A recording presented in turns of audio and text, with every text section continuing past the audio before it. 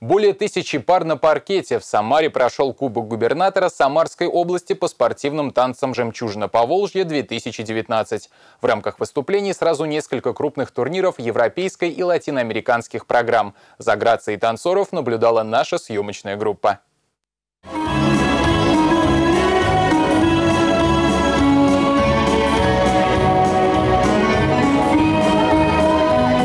Малыши исполняют квик-степ, танец, который переводится как «быстрый шаг». Пары зажигают на паркете, давая понять судьям турнира, они заслужили медали. Для Павла и Елизаветы этот турнир «Жемчужина Поволжье» – проверка на прочность.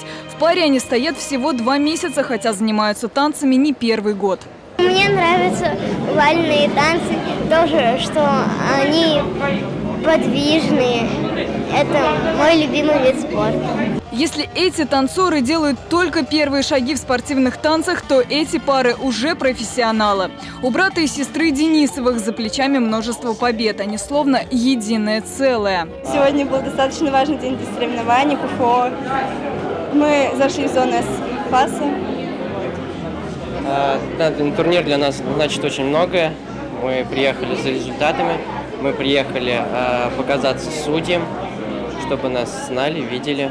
Оценивают артистизм и спортивную подготовку более 105 судей международной категории. «Жемчужина» включает сразу несколько соревнований. Кубок губернатора Самарской области, всероссийские, квалификационные, чемпионаты и первенство ПФО.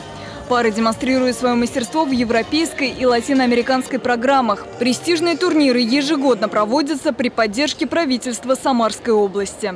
С каждым годом число участников только растет, значит, растет интерес к этому танцевальному турниру. У нас э, две с половиной тысячи человек э, зарегистрировалось на начало соревнований. 24 региона представлены, несмотря на то, что это позиционируется как чемпионат ПФО. И в первый же стартовый день было уже около 800 выходов пар на паркет. По результатам турниров участникам присвоили звания и разряды. Спортсмены, набравшие необходимое количество баллов на квалификационных соревнованиях, получили возможность отстаивать честь страны на чемпионатах международного уровня. Татьяна Пудова, Александр Каракулько. Новости губернии.